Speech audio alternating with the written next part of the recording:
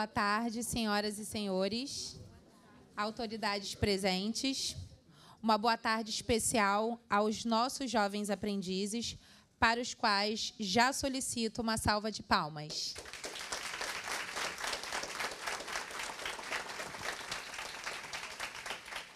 Primeiramente, gostaríamos de chamar para compor a mesa e agradecer ao deputado estadual Sérgio Fernandes, anfitrião deste evento,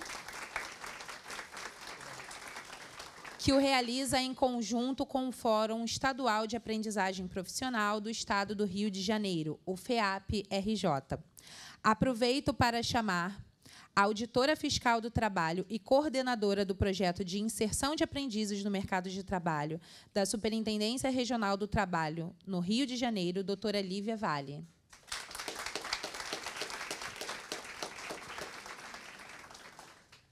O Fórum Estadual de Aprendizagem do Rio de Janeiro, FEAP, numa parceria com o deputado estadual Sérgio Fernandes, ocupa no mês de maio, mês que é celebrado o Dia do Trabalhador, Assembleia Legislativa do Estado do Rio de Janeiro, para destacar a importância do programa Jovem Aprendiz, a única política nacional de geração de emprego e renda para adolescentes e jovens que combate o trabalho infantil e a evasão escolar e promove a qualificação profissional e a redução das vulnerabilidades sociais.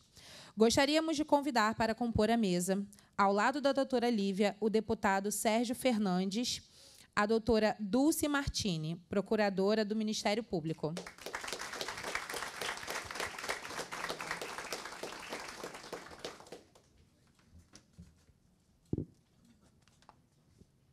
O senhor Ingo Ames, vereador do município de Petrópolis, autor da lei municipal que incentiva a contratação de jovens aprendizes.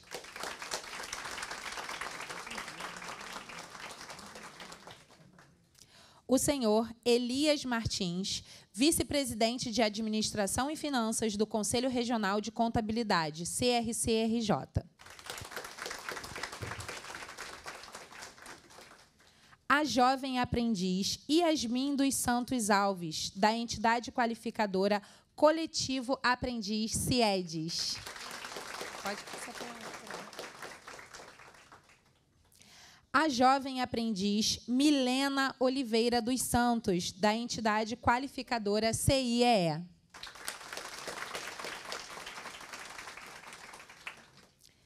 Isabelle Ranzeiro, assistente social do Camp Mangueira representando todas as entidades qualificadoras do Estado do Rio de Janeiro.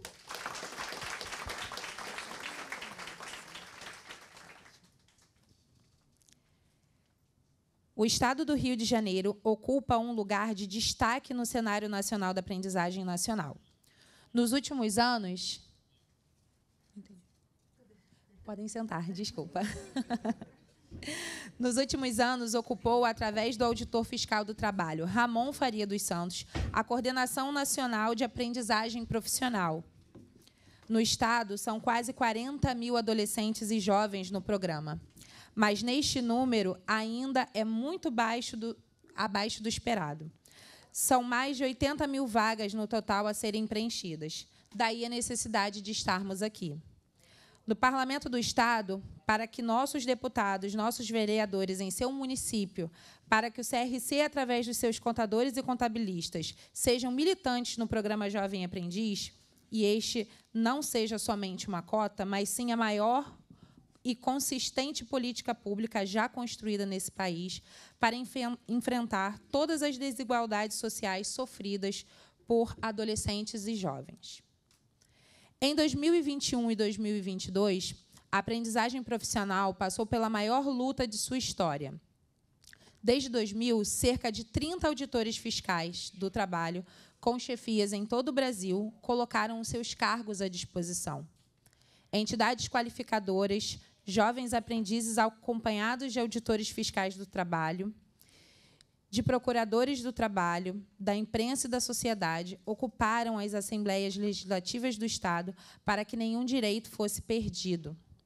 A luta ainda continua e é por esse motivo que estamos hoje aqui, neste evento que tem o título Adolescentes e Jovens desafios da empregabilidade e empoderamento pelo programa Jovem Aprendiz.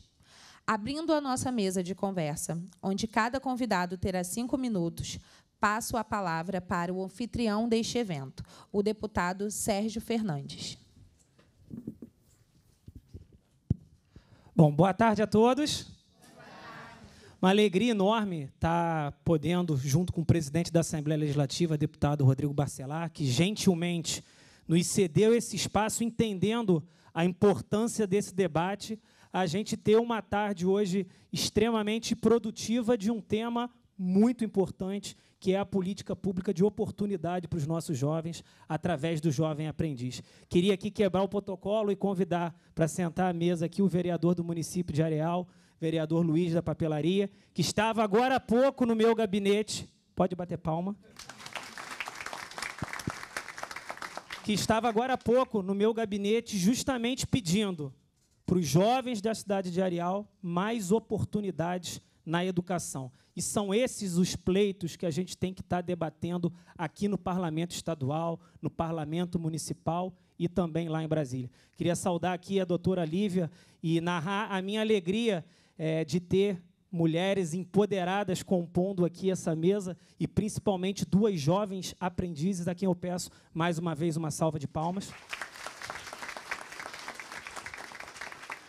E saudando a plateia na figura de uma amiga que há algum tempo a gente não se encontrava, que é a Tatiane, da ONG Contato, uma das instituições também formadoras de jovens aprendizes. E posso aqui fazer o testemunho na pessoa dela de que, em momentos de muita dificuldade do estado do Rio de Janeiro, lá em 2017, com salários atrasados, com as instituições, e essas instituições aqui a gente abre o leque para as mais diversas instituições que dão apoio às secretarias de Estado aqui com repasses atrasados. Faço aqui é, o meu testemunho do quanto ela perseverou, lutou e não desistiu. E ela não desistiu porque ela acredita naquilo que ela faz, que é cuidar e tratar das pessoas. E nessa tarde de hoje, são vocês, jovens aprendizes, que a gente precisa e deve tratar, acolher e, principalmente, gerar oportunidade.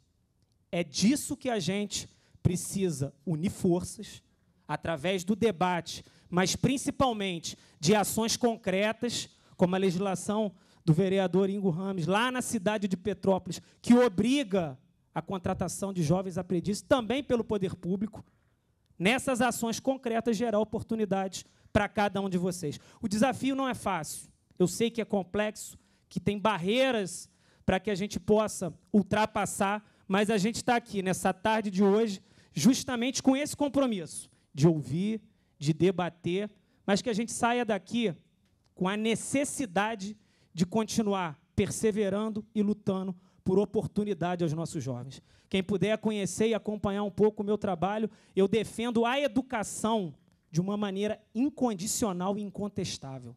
Porque é através da educação que a gente consegue mudar e transformar a vida de cada um de vocês que está aqui. É através dos bancos escolares, com professor em sala de aula, de todo aquele ambiente da comunidade escolar, que a gente consegue mudar a trajetória de vida de cada um de vocês. Só que a educação não é um ponto final nessa trajetória. Quando vocês se formam, concluindo o ensino médio, vem aí o grande desafio: o que vai ser de mim? Para onde eu vou? O que vou fazer? E essas dúvidas precisam ser respondidas pelo poder público, porque é esse o nosso compromisso e é esse o nosso papel. A Secretaria de Educação, ela fecha um ciclo e a gente não vê hoje, e falo aqui com muita propriedade, no estado do Rio de Janeiro, uma política pública que pegue a mão de cada um de vocês ao concluir o último ano e apresente uma oportunidade. Seja no mercado de trabalho, seja na universidade, seja nos cursos técnicos profissionalizantes. Mas essa política pública da educação, ela não se encerra tão somente ao concluir o último ano do ensino médio. A gente deve continuar acompanhando cada um de vocês jovens que precisam ter oportunidade na nossa sociedade para escrever a história de vida de cada um de vocês. E quando essa oportunidade, ela cada vez mais é achatada, ela cada vez mais fica descredibilizada, a evasão escolar aumenta. A gente passa, infelizmente, a competir com outras realidades não republicanas, mas que num primeiro momento são mais atrativas e a gente vê o aumento dos índices de violência no estado e na capital do Rio de Janeiro.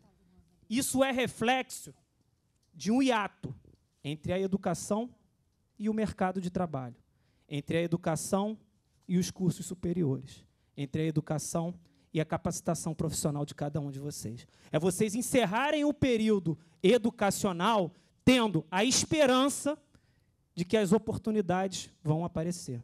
E eu encerro aqui a minha fala com um compromisso que o que eu venho fazendo ao longo do meu mandato incansavelmente, porque oportunidade não cai do céu. Oportunidade não vem tão somente da nossa fé ou da nossa crença.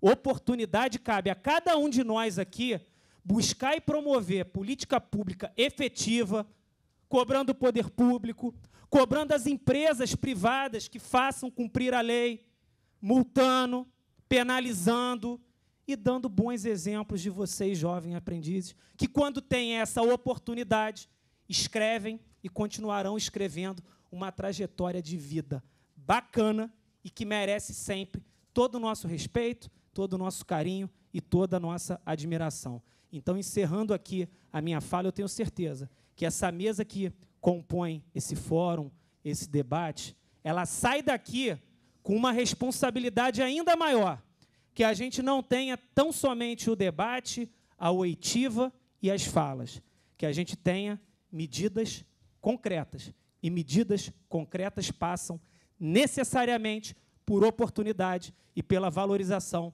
dos nossos jovens aprendizes. Jovens aprendizes. Parabéns a todos vocês e que a gente possa ter aqui uma tarde muito proveitosa. E antes de vocês baterem palmas para mim, eu já peço desculpas, porque eu tenho uma outra agenda. Vou precisar deixar vocês aqui, sob a presidência da doutora Lívia, conduzindo esses trabalhos, mas depois a gente vai acompanhar todas as falas pela gravação é, que vai ser feita, que está sendo feita pela TV Alerj e continuar junto com cada um desses atores políticos aqui que compõem essa mesa, esse debate, para que a gente possa implementar uma política pública cada vez mais séria, de criação de oportunidade e de valorização do jovem aprendiz. Muito boa tarde, muito obrigado a todos vocês.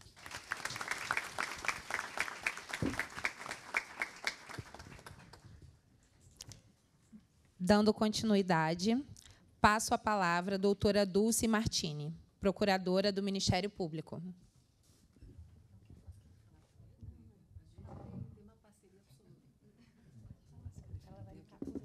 Excelentíssimo deputado, está funcionando, né? Tudo ligado aqui.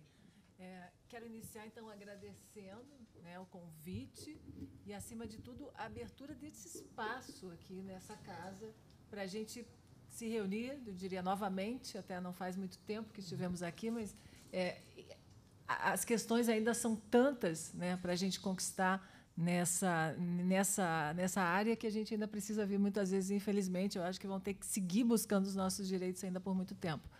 É, pena que o senhor já colocou que vai ter que se ausentar, mas, de qualquer forma, é, a gente segue aqui, né, com, como já foi colocado, então, tratando desse tema. É, o Ministério Público do Trabalho é um, um, grande parceiro do Ministério do Trabalho, aqui representado pela doutora Lívia. É, nós atuamos como meta prioritária né, a inserção dos adolescentes e jovens no mercado, porque nós exigimos, ficamos cobrando diariamente das empresas que elas cumpram a sua cota de aprendizes.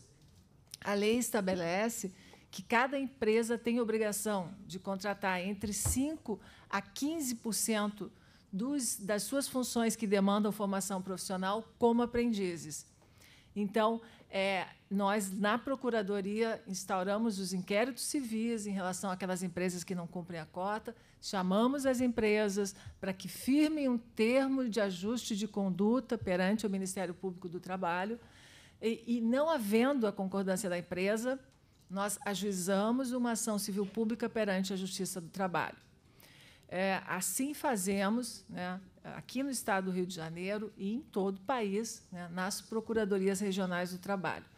Como falei, é uma meta prioritária e nós temos também para atuar nesse tema da aprendizagem uma coordenadoria nacional, Cor de Infância, do Ministério Público do Trabalho, e os colegas, especialmente a nossa coordenadora nacional, que está em Brasília, têm atuado intensamente junto à Câmara dos Deputados né, na articulação desses projetos de lei que melhorem esse, esse, esse tema da aprendizagem. Porque hoje nós temos, infelizmente, deputado, uma discussão jurídica que muitas vezes nos impede até de conseguir essas vagas pela questão da formação profissional, qual é a função que demanda ou não formação profissional.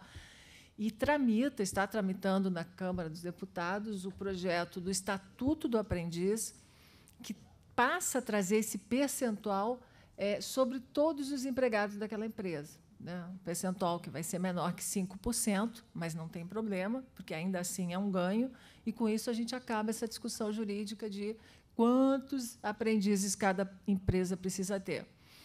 Então, é, os órgãos que se encontram nessa mesa hoje atuam muito também em Brasília, né? esses órgãos públicos estão lá conversando com os deputados e apresentando essa temática da importância da gente inserir especialmente o adolescente a partir de 14 anos, a nossa lei já permite que seja aprendiz a partir dos 14 anos, que, que contrate prioritariamente de 14 a 16 anos, que ainda não pode ter, nessa idade, um vínculo regular de trabalho. A partir de 16, já podemos, né, vocês já podem ser admitidos como um empregado regular, não precisa mais nem ser aprendiz, né, dependendo da situação.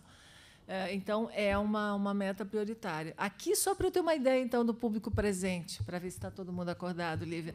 Nós temos aqui aprendizes, deixa eu chutar aqui a faixa etária, 18, é, de 18 a 20 anos. Quantos aqui tem 18 a 20? Menos, menos de 18. Menos de 18. Tá. Está mais ou menos parecido. E o resto, então, é acima de a gente tem uma ideia, porque a gente já fez esse meia-culpa de que ainda precisamos buscar mais essa inserção, porque a, eu acho que talvez a Lívia fale um pouco sobre isso, que a gente tem o contrato de aprendizagem como substituto do combate ao trabalho infantil. Então, muitas crianças que abaixo de 14 anos é, são encontradas em situação de trabalho infantil, essas não podem ter nenhum contrato de trabalho. Mas a partir de 14 ele já pode ser inserido, tendo uma empresa que deve cota de aprendiz, é, aquele, aquele, aquele adolescente encontrado em situação de exploração de trabalho, que, né, no mais das vezes, são trabalhos precários que não respeitam é, a condição física e a própria é, continuidade da educação daquele adolescente, ele né, entrando no, nessa vaga, nessa cota da empresa, ele vai ter a sua carteira de trabalho anotada, né, você já sabe muito bem disso. Vocês estão cursando um, um, um curso de formação profissional e há ainda, para quem não concluiu o ensino médio, uma obrigatoriedade de frequentar a escola regular. Então, tudo que foi colocado pelo deputado de extrema importância a educação é né, a nossa, nossa saída, isso já ouvimos há muito tempo né, na nossa política, de tempos de Brizola ou tempos anteriores até, da importância né, da gente ter essa formação. E hoje eu acho que é uma tendência e a gente pode sim pensar em ampliar os nossos cursos técnicos, a nossa formação profissional, porque não é todo mundo, muitas vezes, que tem interesse de frequentar uma faculdade. E, e, a gente vai estudando e vai vendo a realidade de outros países. A Alemanha, por exemplo, é um país desenvolvido e com muitos jovens que né, fazem um curso técnico e ali eles trabalham e têm a renda deles e não pensam em cursar uma faculdade, fazem isso mais tarde na vida. Então, a gente pode sim né, começar a mudar a nossa realidade também, a gente ter já essa entrada né, com essa profissionalização né? Mas as empresas que não estão presentes aqui hoje, mas esse recado tem que ser levado. Elas têm não só essa obrigação legal, mas elas têm também essa responsabilidade social. Formar um aprendiz, contratar um aprendiz, é já preparar seu futuro empregado. Né? Isso nós falamos em todas as audiências com as empresas. É, é, já, já, chega, né, uma vez que ele se forma como aprendiz, ele já está como, pronto para atuar como empregado, ou seja, evita até seleções, esses, essas complexidades de, de, de anúncios, etc. Ele já tem seu empregado formado e já com experiência naquela empresa. Então, tem tudo a ver você dar essa, alcançar essa aprendizagem profissional nem que não, não seja, e aí também é uma, uma explicação que a gente fica dando, não precisa ter dentro daquela empresa ser, a, a atividade ser correlata. O aprendiz não precisa fazer exatamente o que tem dentro daquela empresa, pode ser contratado para outras funções, porque a nossa ideia é aprimorar né, a formação do aprendiz para que ele seja preparado para o mercado de trabalho. Né? E há uma formação que passa, que é genérica e que pode atender a qualquer empresa, não precisa ser de uma área específica. É, isso é um outro avanço que a gente sonha ter aqui no, no Brasil, dar essa formação profissional básica e ele pode estar numa empresa ou outra.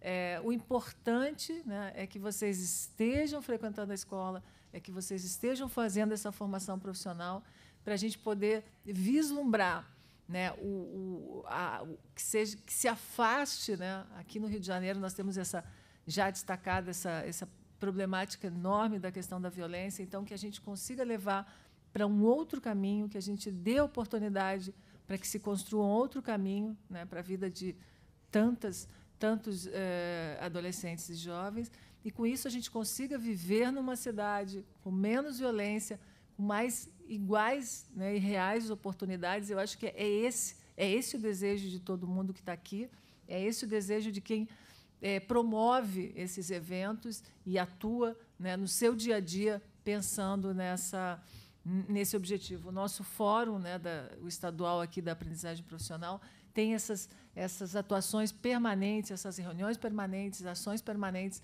com esse objetivo.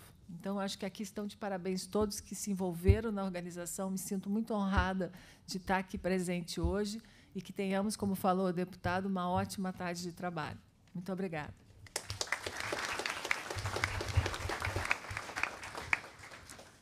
Seguindo a nossa mesa de conversa, passo a palavra para o senhor Ingo Rames, vereador do município de Petrópolis, autor da lei municipal que incentiva a contratação de jovens aprendizes.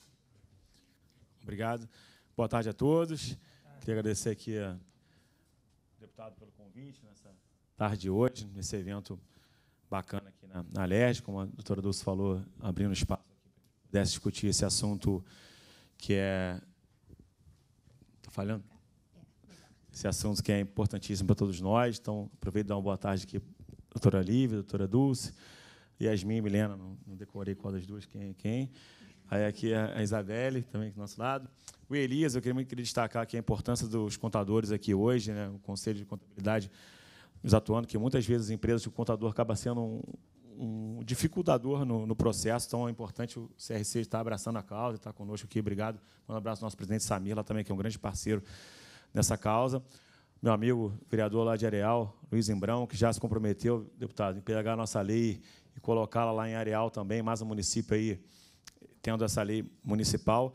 Então, essa lei surgiu a ideia lá em 2020, a Fernanda, que trabalha comigo aqui, que é da Comac, onde aproveito para parabenizar aqui todas as empresas que participam desse processo, tem o CIE, tem a Comac, outros demais aí representados hoje. A Fernanda trouxe demanda lá em 2020, ela não trabalhava comigo à época, nós só éramos amigos, e nós aplicamos essa lei em Petrópolis, não só na cidade, como também na Câmara Municipal, onde qualquer fornecedor da Prefeitura ou da Câmara Municipal, obrigatoriamente teria que cumprir a lei dos menores aprendizes. Então, foi uma lei que deu, deu uma discussão enorme. Logo após, nós tivemos muitos e-mails é, no nosso gabinete, pessoas de outros municípios pedindo a lei para que pudéssemos replicá-la no Brasil afora. Então, foi muito bacana, foi satisfatório demais ver esse resultado. Fizemos algumas reuniões explicando o porquê da lei e passando a lei propriamente dita, para que pudesse replicar em outros municípios. E também estamos acompanhando a questão que a doutora Dulce falou, da Câmara dos Deputados, fazer o estatuto. Então, a gente vem acompanhando esse trabalho junto aos deputados federais também, para que a gente possa realmente tornar esse assunto cada vez mais falado e passar essa importância para todos nós. Porque a gente já falou aqui de violência, falando de oportunidade, mas, realmente, todos nós temos que olhar cada vez mais para a oportunidade de primeiro emprego, da preparação para esse primeiro emprego de forma efetiva. Vou para outro aqui, que é mais fácil de forma efetiva e como a gente fala no nosso dia a dia de trabalho. Eu acho que essa oportunidade de você é, ensinar para esses jovens, eu acho que é o grande diferencial, que esses jovens já saem desse período preparado para uma oportunidade melhor no mercado de trabalho. Então, essa é a nossa, essa é a nossa luta, é a luta pelo primeiro emprego, é a luta por, esse ensinamento e, consequentemente, a gente permite passar por várias outras pautas que são fundamentais para a nossa boa convivência e para um futuro melhor do nosso país. Então, parabenizo a todos os envolvidos mais uma vez. Contem conosco lá em Petrópolis, tem o nosso modelinho aqui. A gente espera que essa lei possa eh, replicar em diversos municípios do nosso estado, que saem todos, e também nosso Brasil afora. Então, a Fernanda depois tem a nossa relação de todos os municípios que já fizeram contato conosco. Quem tiver curiosidade, a gente pode estar passando para vocês com mais detalhes. Então, no mais, uma boa tarde a todos, tenhamos um belo evento aí. Muito obrigado.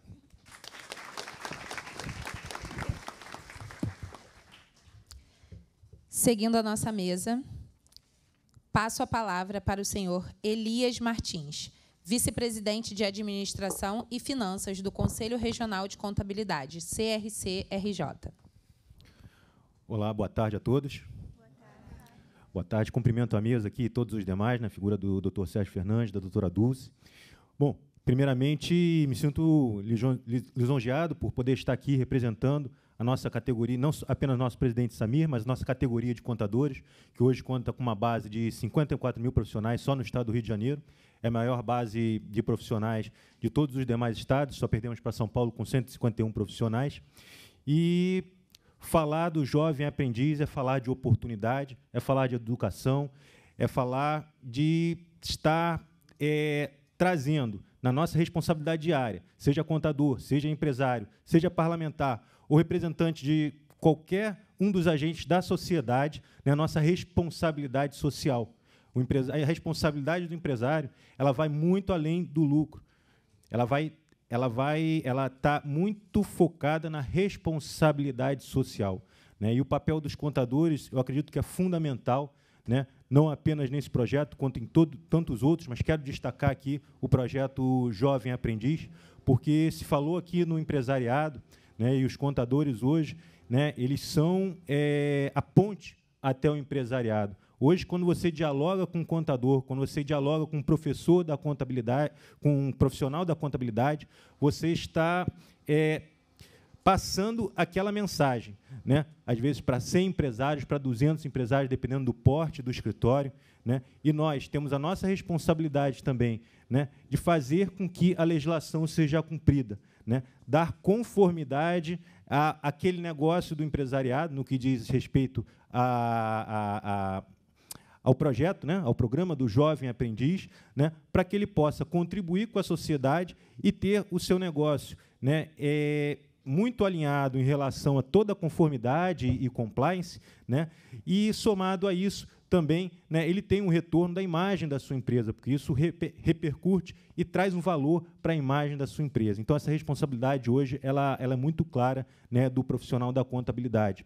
Hoje, nós do Conselho Regional de Contabilidade, né, nós temos, somos, fazemos além do que o nosso papel principal, então nós também temos o pilar da capacitação, né, de todos os profissionais, da educação continuada, levando a eles treinamento, capacitação diária, para que possa entender o que é o projeto e levar a toda a classe empresária né, a necessidade né, de atender essa demanda da sociedade. Até porque, é, ao refletir sobre a, sobre a fala da doutora Dulce, né, é, nós, por vezes, quando atuamos em uma consultoria empresária, nós verificamos que uma das dores do empresário é captar mão de obra qualificada. Né? E essa mão de obra ela tem muito valor, aquela mão de obra que ela, ela, ela cresce junto da empresa, né, com a cultura da empresa. Então, é, essa é uma dificuldade, e isso o programa Jovem Aprendiz traz esse retorno para o empresariado. Né? Agora, nós, contadores, né, nós atuamos sim é, com os serviços, prestação de serviços contábeis para a classe empresária, mas também atuamos na área pública. Então, nós estamos aí também para contribuir, quando nós falamos de educação, como pilar, como ação transformadora, né, para poder, de olhos, olhar com lupa e garantir que os recursos públicos sejam muito bem empregados e a prestação de contas efetiva seja apresentada a toda a sociedade. Né? Então, nós estamos, fazemos parte também desse processo. Né? É, é um processo que ele tem que ser feito não a quatro mãos, mas a cinco, a seis, como estamos aqui nessa mesa, como estamos aqui nesse auditório. Né? um processo coletivo né, que é preciso que se traga dia a dia né, para a sociedade, levando aí aos quatro cantos né, do nosso Estado e do nosso país também né, a importância do programa Jovem Aprendiz para todos os agentes né, que compõem essa, essa sociedade. Então, queria parabenizar todos aqui na mesa, ao, ao doutor. É, ao deputado Sérgio Fernandes, à doutora Dulce, ao nosso vereador lá de, de Petrópolis, que teve a iniciativa de trazer essa lei aí, que tenho certeza que muitos municípios já avançaram e vão avançar também em relação a, a essa iniciativa, né? e podem contar todos com o Conselho Regional de Contabilidade, seja o Parlamento, seja o Ministério Público, né, seja o Ministério do Trabalho, sejam vocês, jovens aprendizes, empresariados, porque é, nós estamos aí para poder colaborar com a sociedade, entendemos o nosso papel e buscamos a cada dia melhorar esse processo. Bom, é somente isso. Agradeço, parabenizo a todos que estão aqui presentes hoje estão nos assistindo, porque esse é mais um momento que nós temos a oportunidade de enaltecer, de colocar num pilar, com muito destaque, o programa Jovem Aprendiz, que é um programa de efetiva importância para a sociedade. Nós já vemos o resultado desse programa, mas acredito que tem um potencial muito maior, que nós juntos vamos conseguir prover para os jovens da nossa sociedade. Muito obrigado.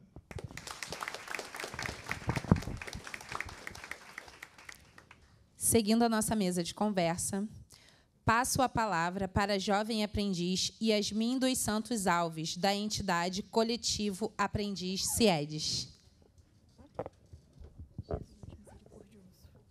Boa tarde, gente. Eu estou mega nervosa. Então, vamos lá. Me deram essa missão aí de falar para todos os jovens aqui presentes o coração tá mil, mas vamos começar. Boa tarde a todos, boa tarde à banca. Me chamo Yasmin, sou nascida e criada na comunidade de Acari. Cresci lá, ainda vivo lá. Falar do programa Jovem Aprendiz, pessoalmente, é falar de um mix de emoções, mix de oportunidades. Foi através dele que eu aprendi muita coisa. Eu tô com uma colinha aqui embaixo. Foi através do programa Jovem Aprendiz que eu tive mentorias, tive momentos de aprendizado e falar das instituições que me acompanharam, porque hoje, graças a Deus, eu estou na minha segunda oportunidade, é falar de construir um caminho com pessoas. É muito importante. Não é só a empresa que constrói o caminho do jovem aprendiz, mas é também a instituição. Hoje eu me surpreendi as duas instituições que eu fiz parte estão presentes aqui a minha atual e aqui eu estive, eu agradeço muito as pessoas que eu encontrei por lá. Me passaram sobre o tema, né, o desafio da empregabilidade e o empoderamento do jovem. E os nossos maiores desafios foi justamente o que foi apontado pelo. Eu esqueci seu nome, perdão, da, do, do, do pessoal da, contabilidade. Elis. Perdão? Elis. Elis é, é justamente isso, é o conhecimento técnico. Né? Então, um dos nossos maiores desafios é você chegar numa empresa e algumas empresas ainda colocam listas e listas de cursos de soft skills, de comportamentos e tudo mais. E esse é um dos nossos grandes desafios, é desenvolver isso. E às vezes falta oportunidade, ou às vezes falta tempo, e aquela correria toda da galera da nossa idade sabe como é que é isso, querer correr atrás, faz curso online, pai faz um esforcinho, paga, vende uma coisinha ali também paga.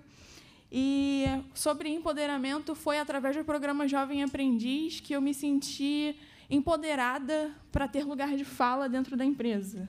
Eu tenho certeza que se eu fosse contratada apenas como jovem, sem ter esse programa por trás, talvez eu não teria as mesmas oportunidades, talvez eu não teria o mesmo foco que eu tive quando eu falava, talvez as pessoas não me dessem tanta importância justamente pelos desafios que também é a idade. Você chegar lá e dizer eu tenho 20, eu tenho 18, eu tenho 17, a galera que trabalha com a gente não costuma escutar tanto, mas quando você diz eu sou jovem aprendiz, você pode ter certeza que você ganha um peso quando você fala disso. E para encerrar, se eu pudesse dar uma dica para todo mundo que está aqui, para quem vai assistir, é, façam parte do programa Jovem Aprendiz. Se vocês puderem priorizar o programa Jovem Aprendiz, por favor, priorizem, porque são grandes experiências dentro da empresa, pessoas que vão virar seus mentores, são conhecimentos tanto comportamentais quanto técnicos que você adquire. Então, por favor, se conseguirem, façam esse esforço de estarem presentes no programa. E também deixo um recado para as empresas, que eles enxerguem o jovem aprendiz como o futuro da empresa, não como uma cota, como a galera costuma escutar, como a galera costuma olhar para o jovem aprendiz. Não somos cota, somos parte de uma empresa. Eu hoje, graças ao meu jovem aprendiz as oportunidades que eu tive, sou formada em marketing. Amanhã pode ter alguém dentro da sua empresa que está se formando em medicina. Amanhã pode ter alguém dentro da sua empresa que é de contabilidade, de financeiro. Só que a, a empresa, quando enxerga só como cota, não aproveita. Então, os jovens não são apenas cotas. Somos parte de vocês. Enxerguem a gente como isso, como parte da empresa, como base. E vocês, com certeza, como empresa, vão ver uma grande oportunidade de inovar e tendo a inovação ali, ó, na palma da sua mão, bem pertinho de você. É isso, gente. Obrigada, viu?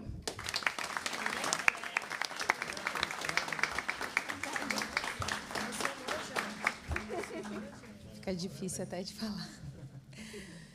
Seguindo a nossa mesa de conversa, a jovem aprendiz Milena Oliveira dos Santos, da entidade qualificadora CIE.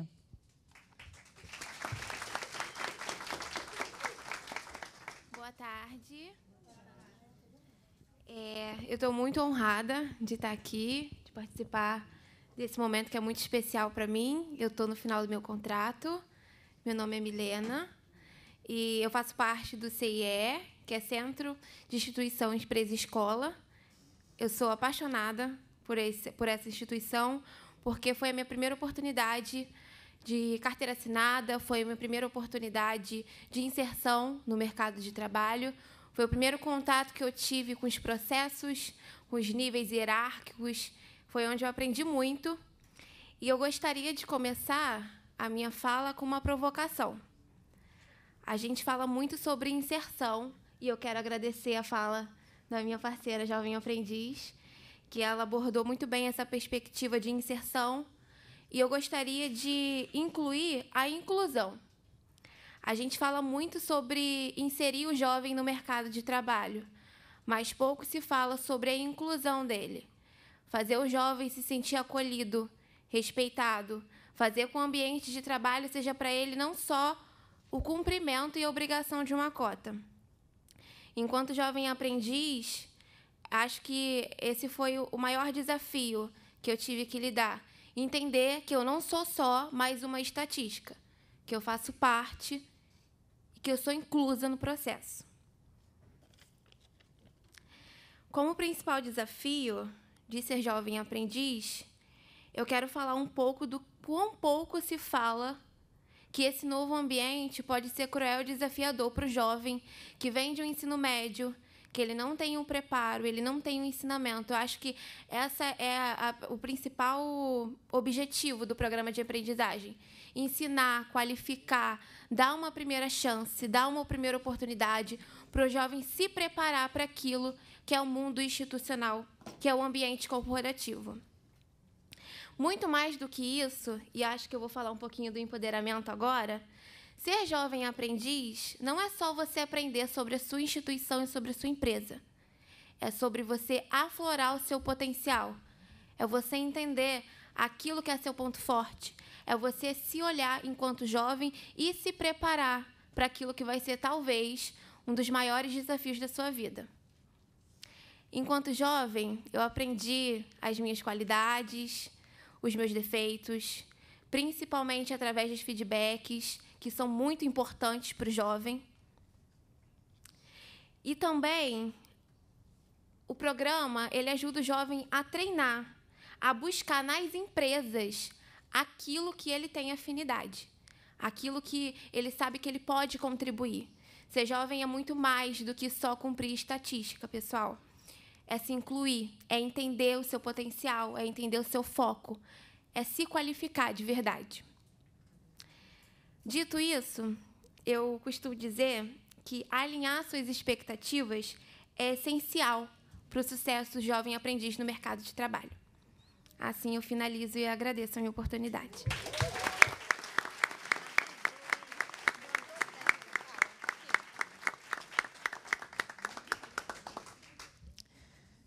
Seguindo a nossa mesa, Isabelle Ranzeiro, assistente social do Campo Mangueira, representando todas as entidades qualificadoras do Estado do Rio de Janeiro.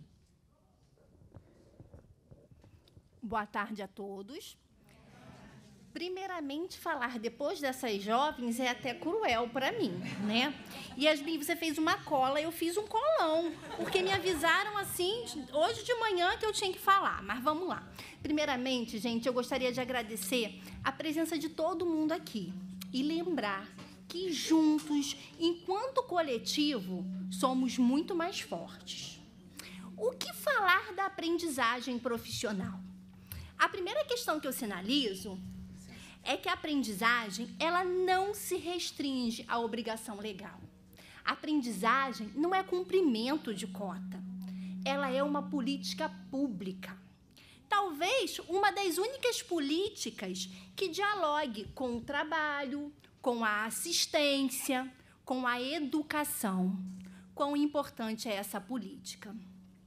A aprendizagem profissional vai muito além da inserção de um adolescente, de um jovem no mercado de trabalho. A aprendizagem, ela qualifica, ela diminui a evasão escolar, ela gera renda, ocupa o tempo ocioso, entre tantas outras situações que somente quem vive a aprendizagem pode contar. Eu costumo dizer que a aprendizagem é uma ferramenta de transformação social ela transforma vidas. E nosso papel enquanto entidade de qualificação profissional é proporcionar essa transformação. Atuo como assistente social em uma entidade de qualificação profissional denominada Camp Mangueira. Vou contar para vocês aqui o caso de um ou alguns adolescentes que por lá passaram. Tudo começou há mais ou menos 15 anos atrás, quando uma mãe foi ao camping Mangueira para vender perfumes para os funcionários da instituição. Mãe solteira, desempregada, nove filhos, um com deficiência física e intelectual. Essa mãe, quando é atendida por uma, por uma assistente social, a assistente social identifica que o seu filho mais velho tem o perfil da aprendizagem a mãe realiza a inscrição desse filho no camp. Ele é encaminhado para uma empresa parceira, cumpre todo o contrato de aprendizagem, mas não é efetivado. Dias depois, ele é visto em um ponto de ônibus pedindo dinheiro para conseguir ir a uma nova entrevista de emprego. Nesse mesmo momento, na empresa onde ele trabalhava, surge uma oportunidade efetiva. E a supervisora lembra desse jovem. Resumindo, hoje ele é funcionário dessa empresa, há 12 anos como funcionário. Tem seus irmãos com diversas histórias pelo camping. Ou seja, ele foi o primeiro da família a conhecer a aprendizagem e fazer jus ao que essa política pública é capaz. Depois dele, outros três irmãos passaram pelo camping. Essa é uma história, é um exemplo, mas quantas outras temos? Todas as entidades que por aqui estão, que aqui estão nesse momento, com certeza terão inúmeras histórias para contar. Mas a realidade, ela também tem um outro lado. Embora tenhamos conseguido grandes realizações, o potencial de contratação que o Estado do Rio de Janeiro tem é muito maior que os números atuais de aprendizes contratados. Precisamos alterar essa realidade. E, para isso, precisamos lembrar que falar da aprendizagem é envolver todos os atores: empresas, adolescentes, jovens, escola, poder público, fiscalização, entidades de qualificação profissional, governo, os nossos políticos. Eles são os nossos representantes. Precisamos colocar em prática a aprendizagem como ela deve ser. Para isso, é necessário a mobilização, com o real envolvimento, comprometimento de todos nós, de todos esses atores envolvidos na aprendizagem e na construção de uma sociedade igualitária, mas com equidade de acesso. Vocês, nossos adolescentes e jovens, empresas, entidades, representantes de órgãos públicos, privados, senadores, deputados, vereadores. Juntem-se a nós. Com a sinergia de todas essas forças, faremos a aprendizagem acontecer.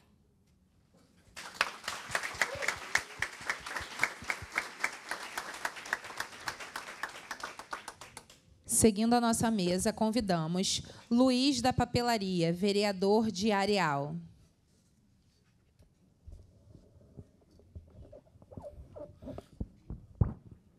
Boa tarde a todos e todas presentes. Quero aqui, desde já, agradecer a mesa presente, doutora Dulce, doutora Lívia, meu amigo Ingo Reis, de legislaturas é, em municípios diferentes, mas buscando os bons exemplos. E vocês são esses bons exemplos.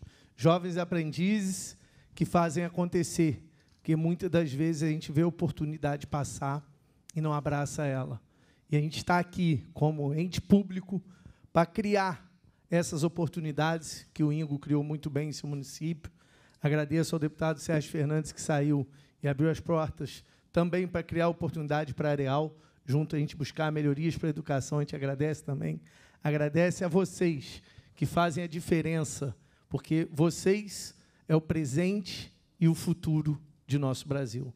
Jovens aprendizes que vai fazer, pode ter certeza e faz parte das empresas, porque sem vocês, eu tenho certeza que esquece empresas porque cabeças passadas passaram.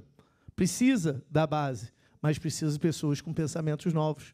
Estamos vivendo um mundo de tecnologia, jovens que querem incluir, que querem inserir, é, muito bem colocado aqui. Nós precisamos fazer isso, inserir em todo momento e levar para os nossos municípios, cada um que tem aquele amigo que está imbuído na política, chama ele, conversa e fala.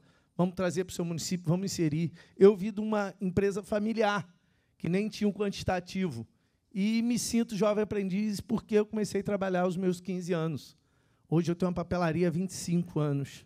Por isso que Luiz da Papelaria e há 10 estou na política, inserido por acreditar, coragem e aproveitar as oportunidades. E que essas oportunidades, doutora Dulce, sejam criadas, implementadas e que façam efetivar mesmo pelo poder público, que cobre das empresas. Esse é o nosso intuito. Quero agradecer à amiga Fernanda, que está ali no cantinho, senão não estaria aqui hoje, ao amigo Ingo, e a gente dá parabéns a vocês e conta com a cidade da Uva, que é empreendedora, hoje no estado do Rio de Janeiro, que é Areal, não poderia deixar de falar.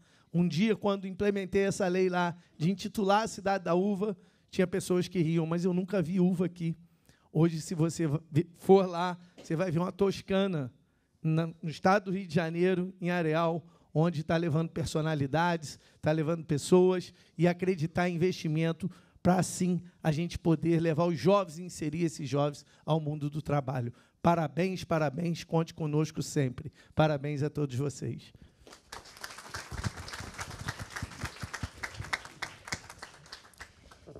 E para fechar o nosso evento, Doutora Lívia Vale da Rocha, auditora fiscal do trabalho e coordenadora do projeto de inserção de aprendizes no mercado de trabalho, da Superintendência Regional do Trabalho, no Rio de Janeiro.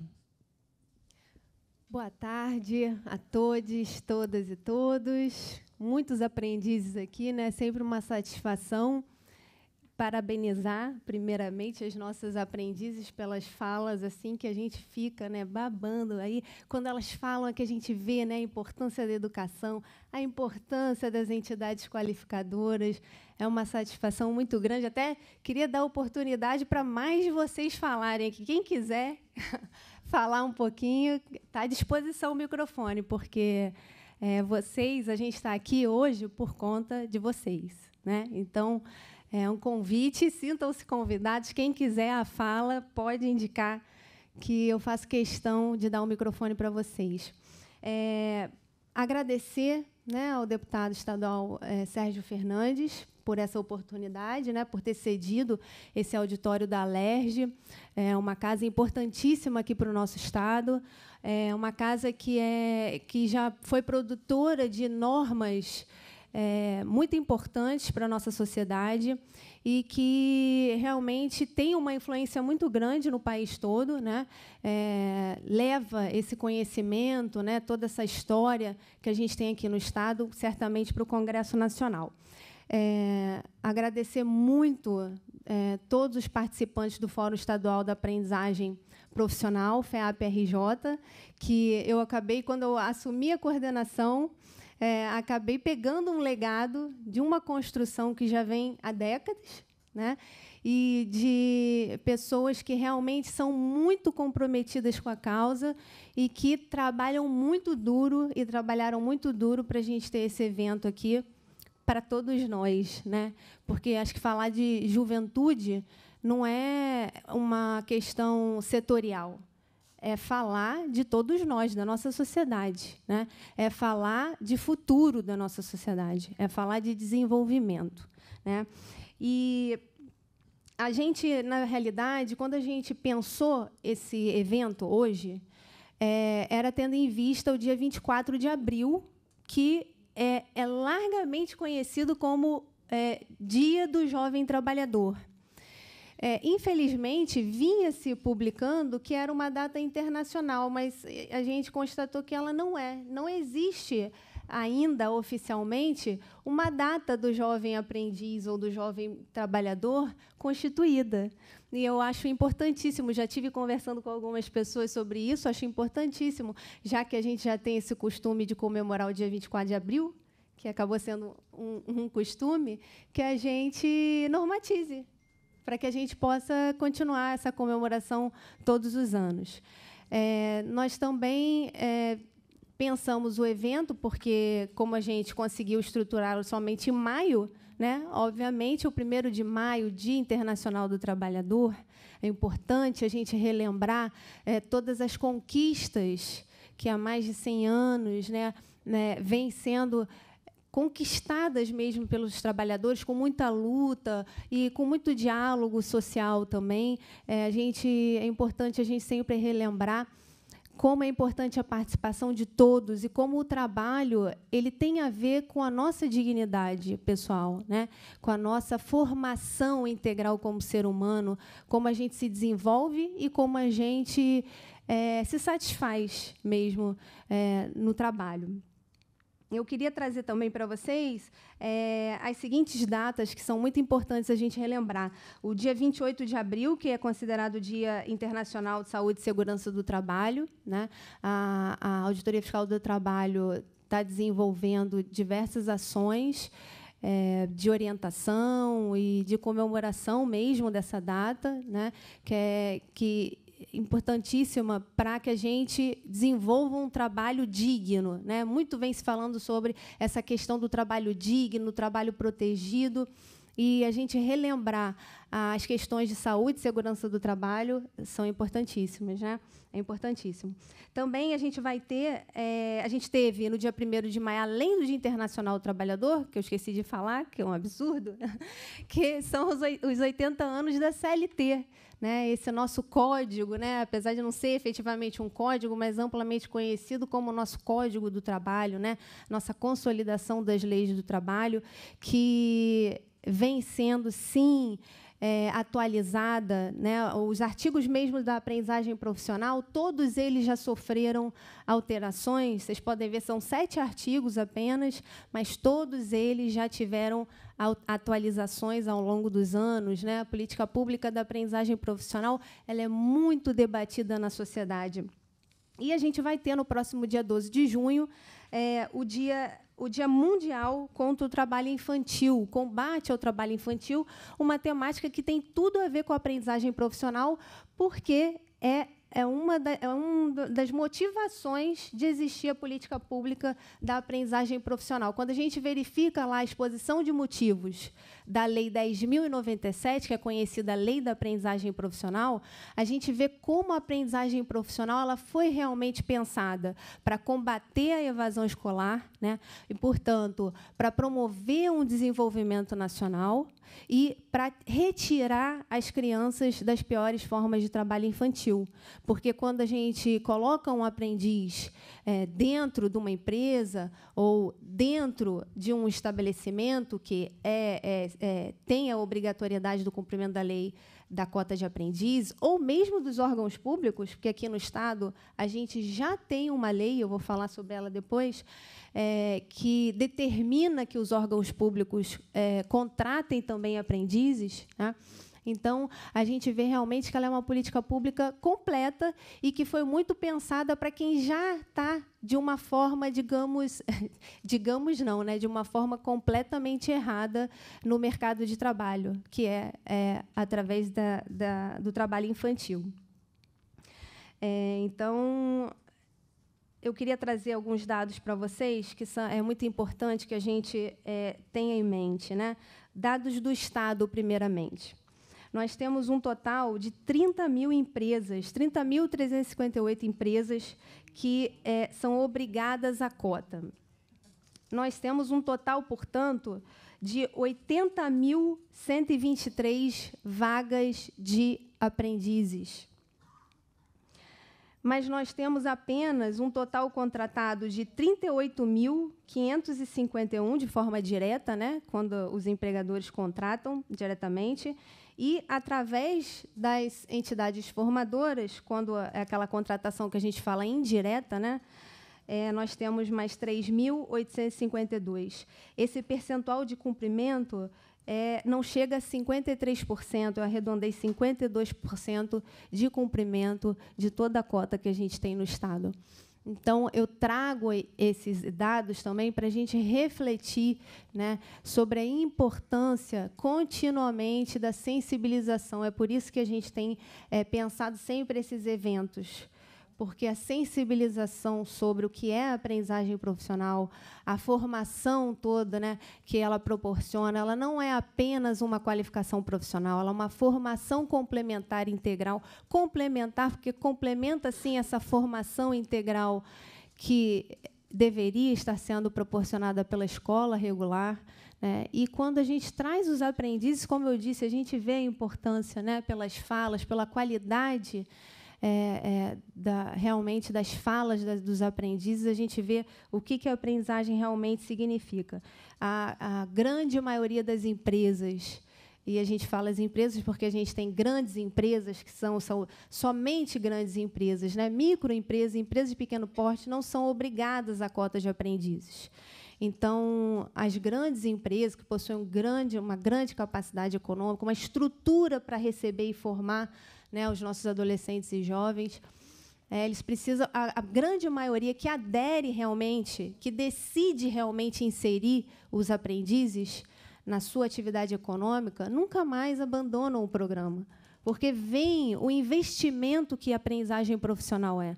Como cresce, como oxigena aquela empresa. Né? Os próprios trabalhadores que têm contato com os aprendizes acabam querendo se capacitar, isso já, já trouxeram muito para a gente. Né? Pô, o aprendiz chegou falando tanta coisa nova lá, tanta coisa que eles estavam estudando, a gente quis estudar também. Né? Então, a aprendizagem profissional é uma política pública de excelência.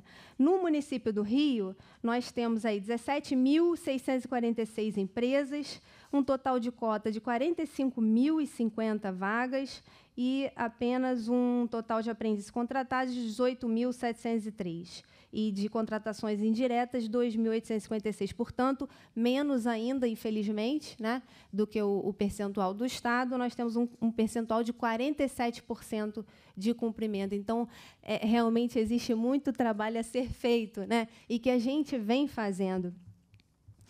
É, a gente também tem, é, eu quis trazer para vocês, porque como eu, eu, faço sempre essa ligação com a questão do trabalho infantil, é importante destacar alguns números que foram compartilhados agora na cartilha da Organização Internacional do Trabalho sobre essa próxima campanha do dia 12 de junho de 2023. Então, eles, eles ressaltaram né, que 1,3 milhão de crianças e adolescentes atuavam em atividades econômicas e 463 em atividades de alto consumo. 21,3% tinham de 5 a 13 anos, 25% é, 14 e 15 anos e 53,7% 16 e 17 anos. Então a gente sempre vê isso, né? Como o percentual do trabalho infantil bate justamente com a idade que é da aprendizagem profissional, que é a, a idade, o, o, a faixa etária prioritária que a gente fala de 14 a 18 anos. Como essa política pública é importante para combater esses números. Cerca de 25% dos adolescentes de 16 e 17 anos cumpriam jornadas superiores a 40 horas semanais e na aprendizagem profissional, além da jornada normalmente ser de 20 horas semanais, a gente, a gente tem a complementação da parte teórica e da parte prática. O que está se aprendendo na instituição formadora está se executando na, na empresa, né? então 20 horas para que eles tenham, mesmo 20 horas, se a gente for juntar, isso eu estava conversando com alguém esses dias, se a gente juntar as quatro horas que eles passam é, nas empresas, mas as cinco horas que eles passam nas escolas já dá nove horas de, de, de dedicação. Né? Então já é uma grande coisa. Então, como é, que um, como é que a gente vai ter um adolescente trabalhando mais de 40 anos, horas semanais e ainda se dedicando aos estudos? Não tem como, né? realmente não tem como. Na população de 5 a 17 anos de idade, 96,6% estavam na escola. Mas entre as crianças e adolescentes em trabalho infantil, essa estimativa cai para 86,1%. 92 mil, é, 92 mil crianças e adolescentes estavam ocupados como trabalhadores domésticos, atividade que é proibida até os 18 anos e é considerada uma das piores formas de trabalho infantil. 722 mil adolescentes de 16 e 17 anos estavam em trabalhos informais, o que representa uma taxa de informalidade de 74% nesse grupo etário. E a gente tem, de forma geral, né, no nosso mercado de trabalho, cerca de 40% é, da população é, ocupada, ou seja, né, 38,8 milhões de pessoas, na informalidade. Isso é uma coisa que eu sempre trago. Né? A gente tem, quando a gente entra em estatísticas oficiais, a gente vê que a gente já tem mais de 50 milhões de CNPJs cadastrados é, é, no país. E aí, quando a gente vai pegar os dados oficiais, por exemplo, do sistema E-Social, que é um sistema que todos os empregadores, né, todos os que assinam a carteira de trabalho dos seus trabalhadores, é, têm que informar, a gente vê que esse número cai, salvo engano, para perto de 10 milhões. Né, 10 milhões de estabelecimentos que têm é, empregados registrados. Então, realmente tem alguma coisa muito errada. Né? A informalidade realmente está grande demais. É, e aí, dentro desse contexto, né, além de, de sensibilizar, chamar a atenção para que a gente realmente precisa sensibilizar os empregadores da importância do cumprimento é, da cota, né, que nada mais é um fomento à inserção da nossa juventude de maneira qualificada, de maneira que ele vai entender a importância de se capacitar profissionalmente, que ele vai entender a importância é, de estudar, de continuar os seus estudos. Né. A gente precisa também trazer algumas questões é, que são públicas né, e que a gente realmente precisa dar o exemplo. Então, a primeira questão que eu gostaria de chamar a atenção é, são essas mudanças constantes na, na lei. Né? No Congresso Nacional, nos últimos anos, a gente teve diversos projetos de lei que, de alguma forma, afetavam a aprendizagem profissional. E toda vez que a gente teve essa situação, os percentuais de cumprimento, esses percentuais de cumprimento que eu coloquei para todos vocês aqui, eles sempre caem. Porque isso gera uma insegurança jurídica, as pessoas não sabem bem como que tem que cumprir aquela lei. E aí até os que já tinham adotado, já tinham entendido o funcionamento, deixam de cumprir porque já não sabem mais como é que tem que cumprir. Então a gente precisa ter uma grande responsabilidade nos debates né, dessa, da, da, das normas, das novas normas, especialmente essas complexas, não porque são difíceis em sua essência, mas porque demandam a conversa de diversas pessoas, né? demanda os aprendizes se manifestarem, as entidades qualificadoras, né? a fiscalização, o Ministério Público do Trabalho, os parlamentares, a sociedade como um todo né, precisa ser ouvida. Então, é, é, muito importante que a gente tenha calma na mudança dessas políticas públicas, porque acabam é, ocasionando um retrocesso de décadas, às vezes, quando a gente faz uma alteração que não é muito bem discutida. E aí a gente tem lá, né, como a doutora Dulce colocou, a questão do Estatuto do Aprendiz, e a gente precisa também ter cuidado com algumas ideias, algumas questões. Na semana passada enviaram para a gente, num grupo nacional que a gente tem, um novo projeto de lei que foi proposto lá no Congresso Nacional, que agora altera o tempo total do contrato de de aprendizagem, né, contrato de trabalho especial de aprendizagem profissional, para três anos. E aí eu gostaria de chamar a atenção que, por exemplo, aqui no estado do Rio de Janeiro, nós temos, salvo engano, me corrijam, por favor, mas esse foi um número que eu vi há um, há um tempo atrás, de 16 milhões de jovens. A aprendizagem profissional hoje, no Brasil inteiro, ela não chega a um milhão de vagas, nesse 5%, no mínimo. Então, ela é uma política pública de excelência, mas ela é limitada. Né? Ela é muito limitada. Então, quando a gente verifica todo o público prioritário que a gente precisa inserir nas vagas da aprendizagem, se a gente aumenta, a gente tem que ter cuidado com essas, esses pensamentos que, na, na verdade, na realidade, vão diminuir ainda mais a possibilidade da nossa juventude ter acesso a essa inserção da forma correta através da aprendizagem profissional, porque a aprendizagem profissional é uma inserção no mercado de trabalho é para os adolescentes a conhecerem e pensarem sobre o que querem para o seu futuro. Né? A, a, o empresariado, os empregadores, de maneira geral, podem capacitar, são livres para capacitar seus trabalhadores, seus empregados. Então, a gente precisa pensar na aprendizagem efetivamente como um contrato temporário, porque a gente precisa dar conta de um público prioritário que hoje, quando a gente faz né, dois anos e tendo em conta essa faixa etária de 14 até 18, que é prioritária, nós atendemos, se a gente cumprisse, se todas as empresas cumprissem 5%, nós atenderíamos somente o público que, por estatística, já esteve é, em situações de trabalho infantil. Então, todos os demais públicos estariam é, fora da política. Né? Segunda questão que a gente precisa chamar atenção, né? a, as legislações que diretamente afetam, sim, o cumprimento da lei da aprendizagem pelos setores que recebem verbas públicas. Então, nós tivemos recentemente a, a postergação, né, a, a, o atraso aí na vigência da nova lei de licitações, especificamente sobre o cumprimento da cota. Essa lei de licitações diz que todo mundo no país inteiro que vai contratar com poder público, portanto, vai receber verba pública, eles teriam que comprovar que estão cumprindo a cota de aprendizes e a cota de pessoas com deficiência, que são duas cotas diferentes, que, como eu disse, são fomentos a situações que deveriam ser o normal. A gente deveria ter quadros de funcionários dentro da empresa diversificados, né? mas as cotas existem justamente para que isso se concretize. E a lei de licitações foi por mais um ano colocada, ela já, a gente já vinha aguardando né, por, por um ano, ela foi novamente prorrogada por mais um ano, mais um ano, que nacionalmente a gente vai ter que aguardar as empresas que recebem verbas públicas a comprovarem que cumprem as cotas. Aqui no estado do Rio, nós temos uma lei estadual e no município do Rio também nós temos uma lei municipal que já faz essa obrigação.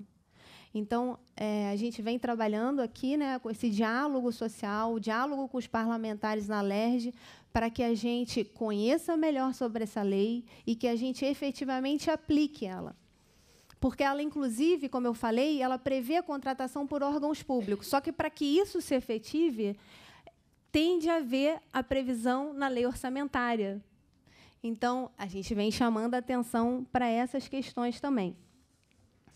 É, a lei municipal, como eu falei, tem aqui no município do Rio, como foi apontado, né, e eu parabenizo sempre Petrópolis por essa, pela vanguarda né, de realmente é, trazer uma lei extremamente benéfica e que uma lei justa, porque se as empresas estão recebendo verbas públicas, elas precisam sim demonstrar que estão cumprindo a legislação, né? Então nós temos outros municípios, diversos outros municípios que até hoje pedem a cópia da lei, né? Como Maricá, que publicou no início desse ano, publicou uma lei também específica. Me parece que Niterói também tem é, um, um, processo legislativo acontecendo, e eles sempre pedem a lei de Petrópolis para poder copiar né, e pegar as melhores ideias.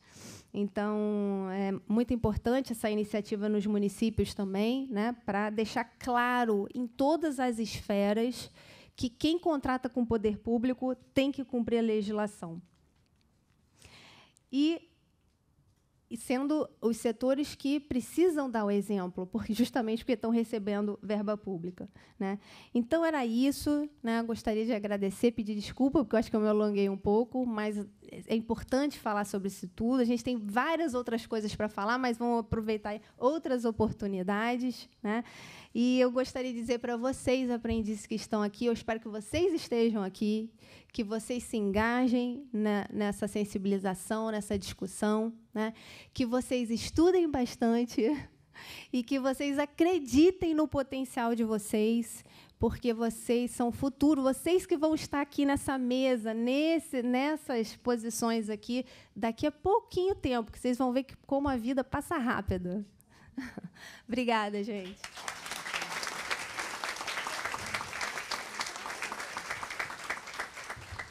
Quebrando um pouquinho o protocolo antes da gente finalizar, eu gostaria de.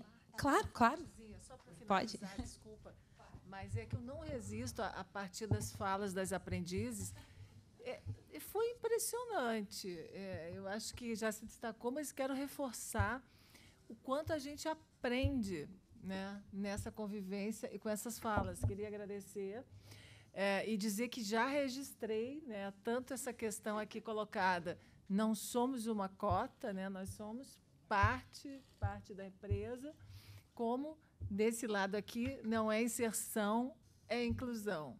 Né? Eu acho que essas, essas palavras elas ficam ressonando, a gente, né, a gente vai processando né, essas novas formas de olhar. É muito importante a gente ter essa fala de vocês, esses espaços aqui em que a gente para para fazer isso, mas eu queria é, colocar uma última preocupação do Ministério Público do Trabalho e de, dos outros órgãos que compõem essas ações, amplas ações de, né, de, de, de tentativas de inclusão, foi colocado aqui a questão do ensino médio, é, mas nós atuamos é, buscando a inclusão de adolescentes, inclusive cumpre medidas socioeducativas, né, e os que estão em situação de acolhimento institucional, que não tem sequer família. É, esse, quando a gente olha para esse público, eles sequer terminaram o ensino fundamental. Então, nós temos um desafio que não é pequeno é, de levar a aprendizagem profissional, e aí a gente fica cobrando tanto do Sistema S, Senai, Senac, todos esses mais conhecidos aí, e também das entidades formadoras que estão aqui hoje presentes, que se faça também essa formação profissional voltada a um público que está com uma defasagem escolar. Já que a gente está aqui na Casa Legislativa, eu queria fazer essa, essa fala, esse complemento, é, e nós atuamos aqui no Estado do Rio por meio de uma comissão né, interinstitucional chamada CIERJA, com diversos órgãos públicos né, que atuam voltados então à inclusão dessas, desses jovens e adolescentes com tanta dificuldade para que eles também tenham essa oportunidade. Então, que a gente sempre consiga ampliar esses espaços de ações na busca dessa inclusão. Estou emocionada com esse evento. Muito obrigada pelo aprendizado.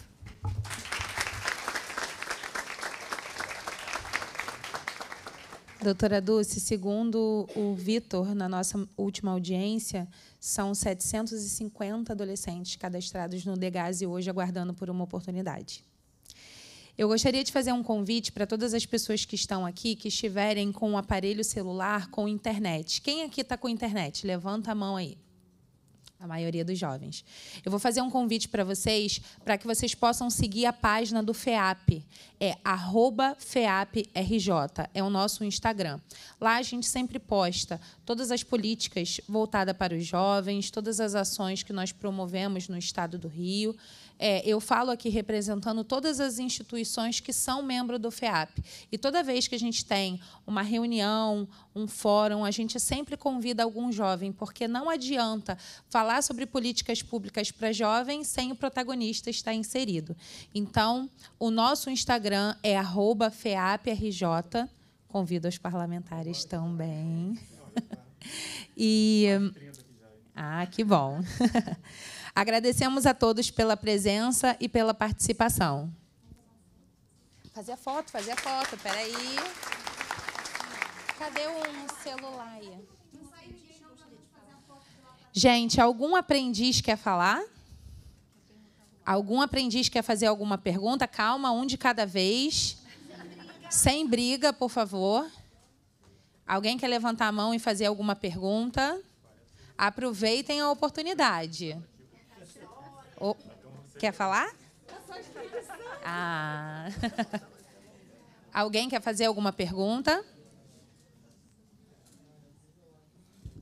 Boa tarde, eu sou PCD auditivo, universitário de RH, e gostaria de que vocês promovessem vagas para pessoas com deficiência, porque eu, eu trabalho na INEA, às seis horas e queria que tivesse outra oportunidade aqui aqui na na CIE também.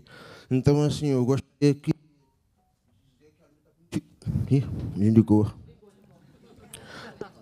Eu, eu escuto um pouco, percebi que desligou. Então, assim, eu gostaria que vocês promovessem, porque a maioria é, é, com deficiência é, pega o benefício do, do, do governo. Então, assim, é, a luta continua, entendeu? Muito obrigado. Muito obrigada. Mais algum jovem quer falar? Gente, aproveita. Sem briga, um de cada vez. Posso só é, ressaltar essa questão que ele trouxe, né, das pessoas com deficiência. É, as pessoas com deficiência é, são público prioritário da aprendizagem profissional. Eu sempre venho colocando, né? É, lá no artigo 227 é porque a, a, política pública da aprendizagem profissional é prevista na nossa Constituição Federal. Né? Primeiramente, lá no artigo 7 inciso 33, quando fala, como a doutora Dulce falou, da baliza né, com a idade mínima para o trabalho, 16 anos, é, ressalvada a partir dos 14 na condição de aprendiz, mas o que fundamenta realmente são os direitos são previstos no artigo 227. né, que tem o direito à profissionalização, tem o direito à educação, dentre outros lá.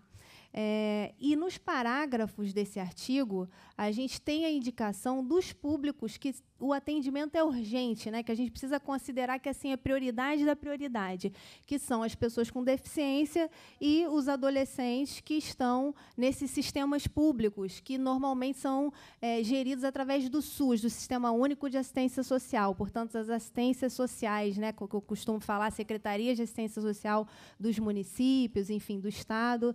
Então, as pessoas com deficiência, elas têm sim que ser capacitadas através da aprendizagem profissional, sempre lembrando que é uma inserção no mercado de trabalho. Né? Nós não podemos pegar profissionais já com experiência e inseri-los através, né, incluí-los através da aprendizagem profissional, não, porque inclusive a gente tem a cota específica para é, inclusão das pessoas com deficiência. Então, é, eles são público prioritário, devem ser capacitados pela aprendizagem profissional, tem o limite mínimo de 14 anos, mas não tem o máximo. Então, a, acima de 14 anos, pessoas com deficiências de qualquer idade podem sim ser aprendizes. Né? E é realmente a gente vem fazendo um trabalho, como a doutora Dulce colocou, inclusive em articulações em diversos municípios com as secretarias. E a gente está em contato através do CERJ com a Secretaria Estadual de Desenvolvimento né, Humano, para a gente criar esses fluxos de encaminhamento é, das pessoas que são atendidas pela proteção social especial, pela assistência social. E as pessoas com deficiência é, estão dentro desse público. Só ressaltar isso, que é importante que todos saibam disso. Tá? Obrigada. Mais algum jovem quer fazer alguma pergunta?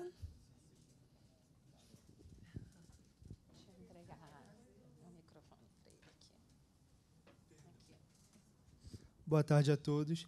Eu queria saber quais são as expectativas para o futuro do programa do Jovem Aprendiz. Olha, você sabe que eu tive numa. A gente teve numa uma audiência pública na semana passada, retrasada, e que uma pessoa que era da empresa nos perguntou isso. E eu vou reforçar, a expectativa é que o, pro, o programa cresça, que esses percentuais cresçam numa velocidade assim, que até o final do ano a gente já esteja, já esteja com mais de 80% de cumprimento no município do Rio, no Estado, né? e, que, e que vocês sejam trazidos mais para nos dar esse feedback sobre como, quando a gente conseguir atingir, porque hoje a gente está correndo muito atrás do aumento do cumprimento. Né? A gente gasta todo o nosso tempo é, é, se articulando para que não haja mudanças que façam retrocessos na política pública, como foi 2022, né? e, de outro lado, fomentando o cumprimento para que esse percentual aumente. Então, quando a gente conseguir atingir um, um, um percentual satisfatório, a gente espera realmente que vocês venham e falem o que, que precisa mudar. Né? A gente quer ouvir os jovens, acho que vocês precisam nos dar esse feedback. O que, que pode melhorar diante do que vocês estão vendo no mercado de trabalho, que vocês estão exper experienciando? Né? Porque no direito do trabalho a gente precisa sempre ter essa perspectiva do trabalhador, que está imerso ali no ambiente de trabalho, em todos os, todas as evoluções que estão acontecendo. Então é isso. Obrigado.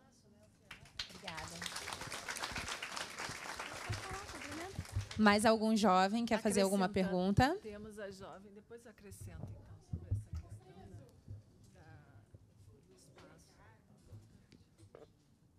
Gente, só. Ih, oi, alô? Ih, parou de funcionar. Fala Aqui, foi. Meu Deus. Voltou? Oi, valeu. Ih, agora sim. É, só para reforçar, as nossas queridíssimas trouxeram para a gente o reforço dos jovens estarem participando mais. Hoje eu estou aqui com a camisa do Coletivo Aprendiz e nas redes sociais é muito legal a gente fazer uma postagem de vez em quando, sempre que você vê uma vaga de jovem aprendiz, você compartilhar, porque a gente fala com a gente, né, galera? Então é muito importante lá no seu Instagram, ou no seu TikTok, ou no seu próprio WhatsApp, viu? Pô, jovem aprendiz é na minha empresa, é na minha instituição de, form de formação. Tira print, posta de vez em quando, que às vezes até uma pessoa que não conhece o programa sente a curiosidade de conhecer. Então, você, além de falar com outra pessoa da sua idade, você também acaba ajudando todas as políticas públicas que a galera está tentando colocar em prática para ajudar a gente. Só para reforçar isso mesmo.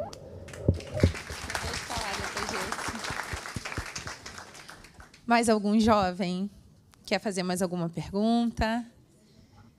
Não? Complementando só a, a pergunta ali e, e, a fala aqui da Lívia, é, que a gente acha fundamental essa participação de vocês cada vez mais e mais e sempre. E, e me parece que o Fórum Estadual da Aprendizagem Profissional é o nosso ponto de encontro, o nosso ponto de debates, onde a gente precisa contar cada vez mais com a presença dos aprendizes e das empresas. Né? Porque a gente hoje está com um lado apenas aqui, aliás, dois, porque o contrato de aprendizagem é aprendiz, empresa e a entidade formadora. Hoje está faltando dessa, desse triângulo aqui as empresas.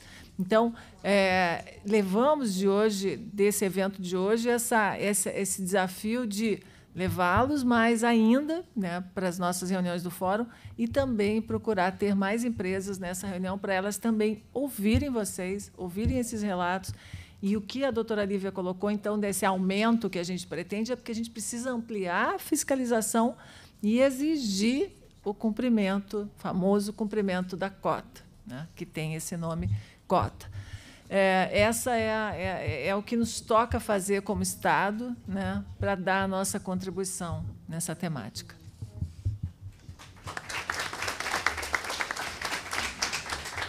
Doutora Dulce, muito obrigada pelo complemento. É sempre maravilhoso ouvi-la falar. Além do município de Petrópolis e do município do Rio, tem mais algum representante de municípios aqui? Levanta a mão, por favor. Lá, lá do outro lado. Areal, Areal também está na mesa, desculpa. Mas Areal já sabe da, da legislação toda, já está craque.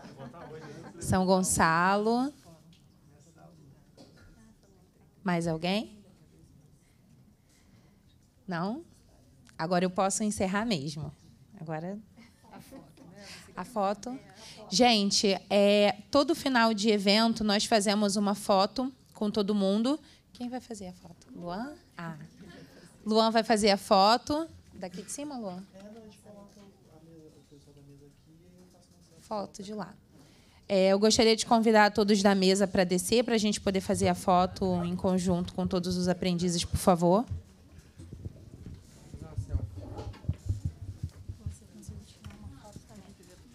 Não, você vai sair na foto. Não, eu vou tirar a foto. Vai você ali.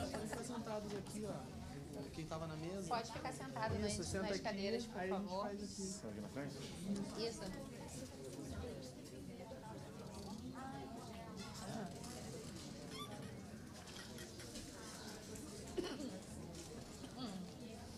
Fazer o que aqui? Que eles Você quer fazer daqui para lá? É. É porque senão não pega todo mundo. Tem que ser lá. Eu não tenho maturidade emocional para falar depois de vocês. Ô, ô, Eu vi, Bem, Você já está se O pessoal do meio para trás podia ficar em pé, porque senão eles quase não aparecem. Pessoal do fundo, vocês podem levantar, por favor, para vocês poderem sair na foto também? Agradeço imensamente. Levantar a mão ou não? Não vai, não vai fazer. Não, aí não vai aparecer. Aí não vai aparecer. Tá, isso. Só que eu preciso da autorização dela para postar, né? Aí você. Não, você pode mandar pelo Instagram mesmo, é só autorizar a divulgação. Desculpa. Pronto. Você pode tirar uma foto com Tá, fazer, aí nasce, vou fazer uma selfie agora. Tu pode levantar o braço. Depois... O barulho não sai na foto, né? É. Pera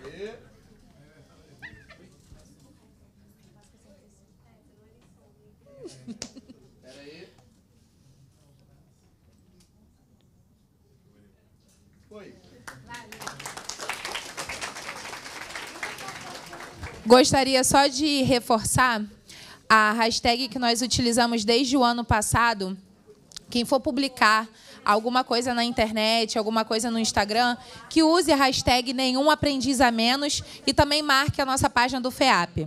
Agradecemos a todos pela presença e participação.